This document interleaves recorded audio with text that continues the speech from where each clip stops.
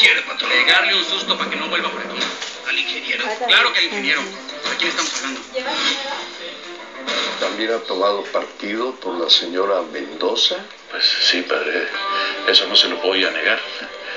Es más, le voy a decir que mi mayor alegría va a ser que algún día, no muy lejano, claro, usted nos pueda dar la bendición, que nos case a la señora Mendoza y a mí. con toda mi alma. Y aunque así fuera, Octavio, Maricruz, ¿tú me has rechazado más de una vez? lo que te estoy diciendo con eso es que no era tanto el amor. Y por eso me enamoré de otra persona.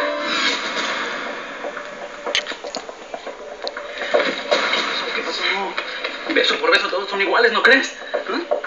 Recién me doy cuenta que necesito un hombre cuyo brazo me pueda apoyar y en cuyo hombro pueda recostar mi cabeza atormentada.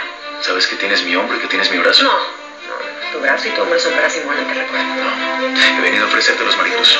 ¿En qué forma? En la forma que tú quieras. En la forma que me lo pides. Me separo de Simón ahora mismo y me caso contigo. Tú, niña que te crees perdida.